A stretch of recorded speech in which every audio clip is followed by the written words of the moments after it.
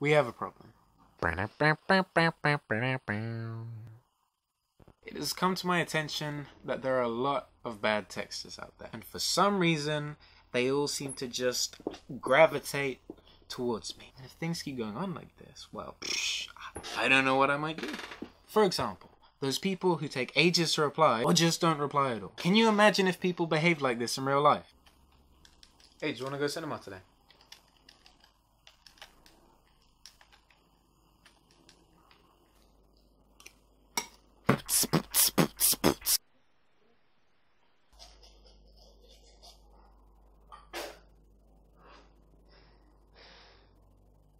No, I'm good. When you get a text spelt like this. What are you, allergic to vowels? Is this some code I'm meant to crack? What is this, the imitation game? Do I look like Benedict Cumberbatch? Honestly, if I manage to figure out what you're trying to say, it's sheer luck.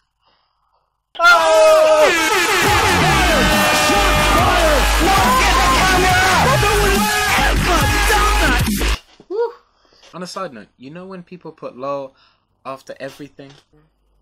Right, man? Oh, hey, man, how's it going? yeah, not so good. I kind of lost my arm in a split screen accident. Oh, that's terrible. Yeah, yeah. Can you stop laughing? Seriously, can you not? Can you stop? Stop laughing. Just stop laughing. Stop. Woo! Woo!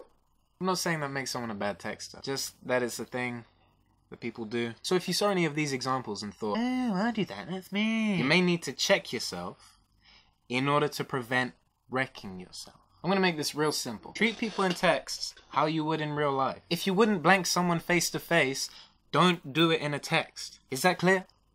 Jennifer? King Jules, calling out imaginary women since 2018. Anyway, should be a new video every Monday, so check that out. I'm out. Oh, check out the intro of the other video, or subscribe or don't. Huh. No reply. Again. Oh, I'm going back to jail.